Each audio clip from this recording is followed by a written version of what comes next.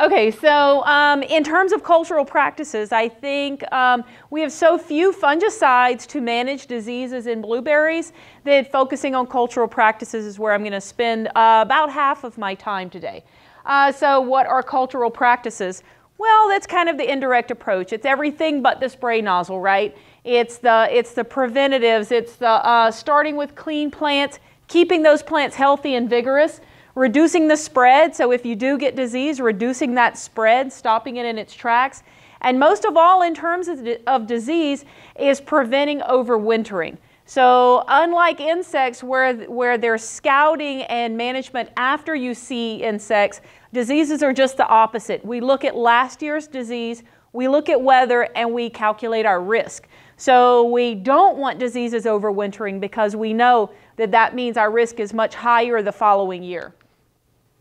So why does it matter? Who uses cultural practices? Um, organic farmers, those who are certified, that really matters, especially because there are a limited number of um, fungicides available for organic farmers, especially in uh, blueberries. Uh, those who want low input operations, start with cultural practices. You're going to reduce a lot of those risks and not have the need for fungicides um, in general. And then gardeners, those who just don't want to spray at all. Some commercial growers opt for the no spray. Me in my backyard, well, I'm just kind of lazy. I don't spray anyway. So uh, even though I say I will.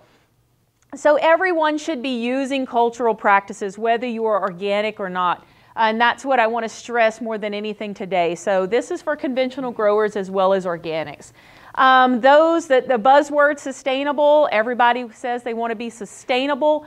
In terms of sustainability, we're looking at human safety, uh, preservation of the ecosystem, and protecting our natural resources. So it's kind of all of it lumped into one. So the less we put out there, the more we use cultural practices, the less uh, the less uh, spray products we put out there, whether they're organic or conventional, synthetic, uh, the better we are at a sustainable product in general. So I wanted to make sure that today that I know we, we talked about organic, but being organic doesn't mean we're sustainable, and being sustainable doesn't, you know, it's is I think where we all want to go anyway, whether it's low input, no spray at all, or that certified organic.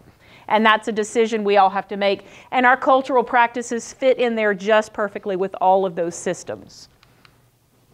and if you're a conventional grower, I've kind of alluded to this, but um, fungicide resistance, it's, it's really, it's a major issue. And I know we have a couple of people here that don't just grow blueberries. Blueberry are a low input crop anyway, but we have some very high input crops that, that are out there. And we don't want fungicide resistance to develop um, whether it's organic products or synthetic.